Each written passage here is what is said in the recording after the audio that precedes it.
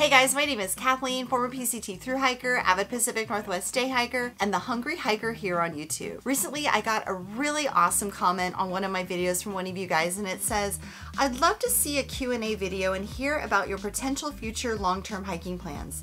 Any additional through hikes in your future, and are you still dating the person you met on the PCT? And then I got to thinking, wow, have I finally reached that status on YouTube where people want to ask me questions and learn more about me than what I show in my videos? I mean, some of you have already recognized me and said hello to me on trail, which is super cool. And I love even more when you tell me that you watch my videos and they've inspired you to want to go hiking or plan backpacking trips of your own. The whole reason why I created the Hungry Hiker YouTube channel is because I wanted to share my adventures with other people in hopes of inspiring other people to want to go outdoors and have adventures of their own. And if you ever see me on trail, give me a high five and say hello. I just don't think I'm ever going to get used to the fact that there are more people out there that watch my videos than just my mom. Thanks mom for watching my videos. Your mom is always your number one fan. This comment inspired me to put together my very first Q&A video here on YouTube. I recently put a call out on my community tab on my YouTube channel asking you guys if I were to put together a Q&A video, what questions would you have for me? And boy, did you guys have a bunch of questions. I mean, a ton of questions. Before we get started, be sure to subscribe to my YouTube channel and hit that bell icon to get notified anytime I add a new video. I'm gonna start with the first question that inspired this whole video in the first place, and that is, I'd love to see a Q&A video and hear about your potential future long-term hiking plans,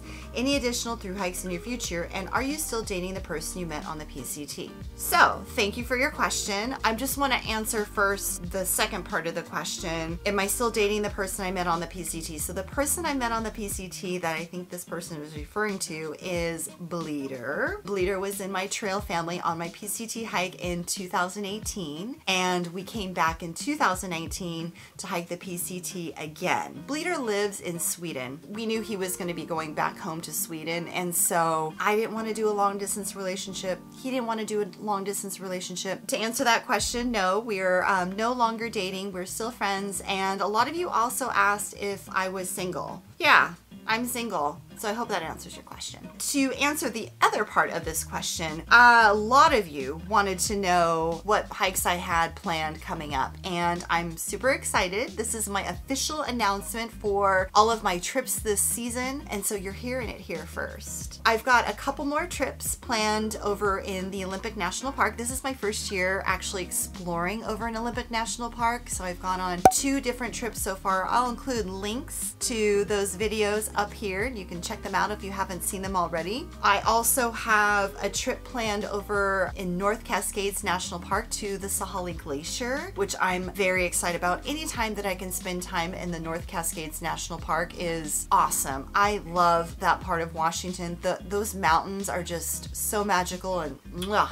they're just beautiful. So I'm really excited for that trip. And then I have a very, very big through hike planned this summer. I'm going to be, drum roll please, I'm gonna be through hiking the entire Wonderland Trail, which goes around the base of Mount Rainier for 93 miles. I am so excited. This is a huge bucket list hike for me. This one's a hard one to plan because in order to camp along the Wonderland Trail, you do have to have a backcountry permit. And to get those permits, you either have to enter the lottery, which happens the beginning of the year, so February or March. This year with the, the Wonderland water, lottery, how it works was you enter in the lottery and then the lottery winners were assigned an early reservation time slot slot. So basically you got a date and a time that you could log into the system and build your itinerary. I must have had a lot of really good karma in the karma bank because my date time slot to put together my itinerary for the lottery. So not only did I win the lottery, but my time slot for the lottery was the second day that the early reservations had opened. I basically built my dream itinerary for this trip. Which is why it's a bucket list trip for me. So we're gonna be out there for 10 days. 10 days! We're gonna do the entire trail and I'm super excited. I'm going with three other of my friends. So if you guys checked out my Northern Loop hike off of the Wonderland Trail in Rainier, so I'll include a link up here above, you'll remember Clarkia and Raquel. They are gonna be joining me for the Wonderland trip this year. The other friend who I'm bringing along is my best friend Katie, and we've been best friends since high school. I'm super, super excited to be out there with these amazing women for 10 days in some beautiful backcountry and I'm just really hoping we get really nice weather and that we just get blessed with seeing Mount Rainier every single day that we're out there. So I'm really excited for that trip. Another big trip that I have planned this year is I'm going to be getting back on the PCT. So if you guys remember last year, I did a section hike, section L along the PCT. I'll link the playlist for those vlogs from that trip up here for you to check out. This year, I'm hopping back on the PCT here in Washington and I'm going to be doing the entire section Section K along the PCT. So I'm going to be hiking southbound. So Section K, I'll be starting from Rainy Pass and I'll be hiking down to Stevens Pass, all 127 miles one way. And that'll be a solo trip and I'm really excited. Section K is probably one of the most challenging sections of the PCT here in Washington just because it's so incredibly remote. There's nowhere along this section that I'll be resupplying, so I'll be carrying all of my food with me on this trip. I'll be out there for nine days, I believe. So I'll have a 10 day food carry because I always carry an extra day's worth of food. And for all these big trips, I'll be making a gear video, a food video, and I'll be vlogging the entire trip. So I'll be sure to take you with me. And then, of course, I have my annual trip to the Grand Canyon. This year's gonna look a little bit different. I'm not giving away too many details, but just know there's another Grand Canyon trip being prepared right now. We're switching up this year, and I'm really excited. And then, of course, sprinkled in with all those big trips. I've got my day hikes and weekend backpacking trips that I'll be doing up here in the Pacific Northwest. So stay tuned. Lots of super fun adventures coming your way and I'll be sure to bring you with me. Another popular question I got was about how I got started with hiking. Why and when did you decide to start hiking? I did not grow up hiking. My first day hike ever, and it was Half Dome in Yosemite. The hike to Half Dome is a 17 mile hike round trip. When I did this hike, you know, this was my first day hike ever. I didn't have any hiking gear. I didn't have hiking shoes. I didn't have a proper hiking backpack. I used my backpack from high school, which was a JanSport backpack. I went with the guidance of a friend who sold me on this trip to Yosemite and all he said was, oh, we're gonna, we're gonna go camping in Yosemite and then we're gonna do this, um, you know, just this little 17 mile hike up Half Dome. And at the time, I didn't know what Half Dome was. And this is before you needed a permit to hike Half Dome. Now, because Yosemite and Half Dome is so popular that you do have to have a permit to day hike up there.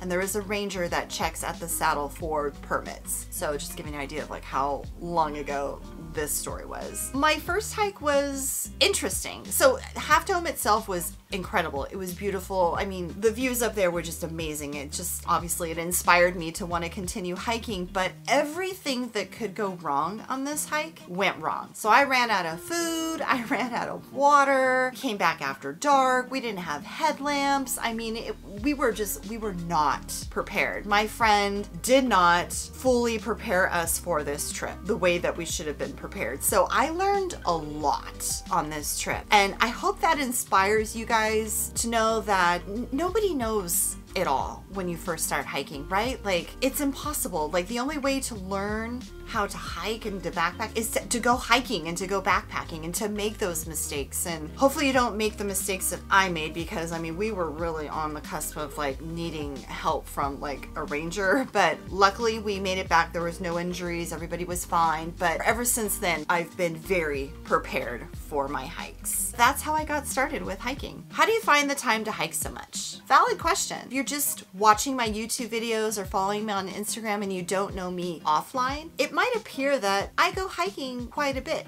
maybe even every day. And that's just not the reality. I wish I could go hiking every day, but my reality is that I do have a job and I do have to work throughout the week. And so I just make the time. The only way you're going to make something happen is if you put it on the calendar. And I tell all my friends if it's not on the calendar, it doesn't exist. So I calendar my hikes and I I make the time and I go. For me, hiking and backpacking, especially in the summer up here in the Pacific Northwest, is a priority. In the beginning of the year, I plot out and plan my big backpacking trips for the year and put them on the calendar so they absolutely happen. So it might look like I hike a lot, which I do, but I make the time to do so. What was your scariest moment on trail? Every single water crossing that I had to do in the Sierra.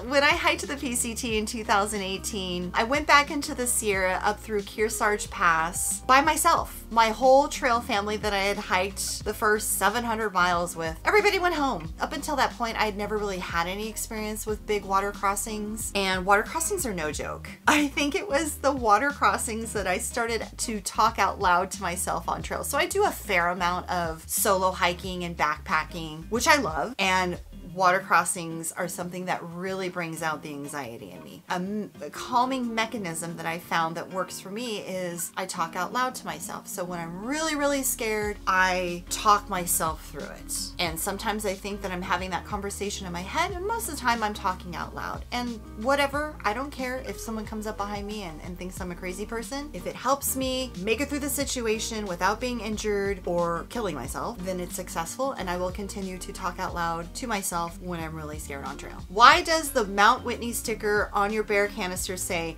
never again on it? I get asked this question a lot. Pretty much any time that I post a picture of my bear canister, people ask me, why does it say never again? So on my bear canister, I have a sticker of Mount Whitney and then with a Sharpie I wrote never again on top of the sticker. In 2018, on my through hike along the PCT, we took the alternate trip to go up to Mount Whitney. Now, most PCT through hikers will go up to Mount Whitney and they'll go back to the PCT. My trail family did not do that. We went up to Mount Whitney and then came down from Mount Whitney, going down the Whitney portal, which has 99 switchbacks. It was a very long day. I had two really big breakdowns on that day. So my first breakdown was when we got to the top of Mount Whitney. I was just exhausted. I was hungry. I was tired. I think the elevation was getting to me. Coming down the portal, I thought we had to have been at least halfway down. And when I realized I think we were only two miles into going down the portal, I broke down. I just, I just started sobbing. I'm like, oh my God, there's no way I'm gonna be able to do this. I was tired, I was hungry. Because we knew we were having a big day, like we didn't take a lot of breaks. I didn't eat nearly as much food as I should have. It was just a very difficult day for me. And I had three really, really difficult days on the PCT in 2018. That was probably the number one hardest day. Spoiler, I made it down in one piece. I'm alive. And the only thing that helped get me down off of that godforsaken trail that day was Bleeder reminding me that we were gonna have McDonald's for dinner. And for all those people who who food shame McDonald's, McDonald's saved my life because I was able to meal plan. At that point, Bleeder had reminded me that we were gonna be going down into Lone Pine and that we were gonna have McDonald's for dinner. And he started asking me what I was gonna order. And it helped me stop crying and it really helped me focus on getting off of that mountain. So thank you McDonald's, thank you Bleeder, and I will never hike Mount Whitney again. What percent of the time do you hike by yourself versus going with a group? Also, do you ever pick up hitchhikers now that you've hitched? And if all the gummy bears in the world disappeared, what would be your backup candy? So let me start with the first part of this question. What percent of the time do you hike by yourself versus going with a group? I'd say I'd go 80% of the time by myself and 20% of the time with a group. I do a lot of day hikes, training hikes by myself, and I'm super okay with that. I mean, I do a ton of backpacking trips by myself. I'm doing Section K this year by myself, but I've also been backpacking with a lot of groups this year. So this year, my two backpacking trips that I've gone on so far in the Olympics have been with the Mountaineers. And if you are in the Western Washington area, I highly recommend looking up the Mountaineers. They are a local nonprofit organization. Their whole mission is to help educate people to get outside and just enjoy enjoy the outdoors responsibly and safely. And if you're someone who is looking to go hiking and backpacking and you don't want to do it by yourself, the Mountaineers is a great organization to get involved with because they offer a lot of trips that are led by volunteers and it's a great chance for you to meet like-minded people. So definitely check out the Mountaineers. I'll be sure to include a link below in the video description for you to check them out. Also, do you ever pick up hitchhikers now that you've hitched? So I won't just pick up anyone that's hitching on the road and that's more of a safety issue. But if I'm going somewhere near the PCT, so if I'm going near Snoqualmie Pass or Stevens Pass or even up at Rainy Pass and I see someone that looks like a through hiker, I'll roll up to him and I'll ask him, you hiking the PCT? And if they say yes, I'll ask them, where do they need to go? And I will, in a heartbeat, give a PCT through hiker a ride anywhere, even if it's out of my way. And I actually have a PCT sticker on my car, and that is not only to show my support for the trail, but I want through hikers to know that when they see that sticker that that car will stop and help them. So yes, I do pick up hitchhikers, but I pick up through hikers. And if all the gummy bears in the world disappeared, what would be your backup candy? My all-time favorite candy is actually chocolate covered almonds especially if they're dark chocolate. If there were no gummy bears left in the entire world, and that would be a very sad world, it would have to be chocolate covered almonds. A lot of people want to ask me if I carry bear spray, if I carry a weapon for protection. Am I scared of animals? Am I scared of people on trail? I do carry a knife, and a knife is one of the 10 essentials, so I always have a knife with me anytime that I'm out on trail, whether it's a day hike or a backpacking trip, but I don't necessarily carry it to use it as a weapon. You can start a fire with a knife, you can cut cheese with a knife, you can open packages with a knife. I have my knife, but I don't consider it a weapon. And no, I don't carry bear spray. I had no idea that bear spray would be such a controversial topic on my YouTube channel. I see it pop up a lot in comments on my videos and I don't. I don't carry bear spray and that is by choice. I don't hike through grizzly country here in the Pacific Northwest. We do have bears. They're black bears. I'm not saying that there's no risk with hiking when there's bears around. There's absolutely risk with bears, but you just want to be bear aware. Making noise, make sure the bears know that you're there. There's a bear canister requirement in the area that you're traveling in. You definitely want want to abide by that and keep all your food and scented items in your bear canister or hang your food. You know, you don't want to approach a bear, don't look a bear in the eye. You can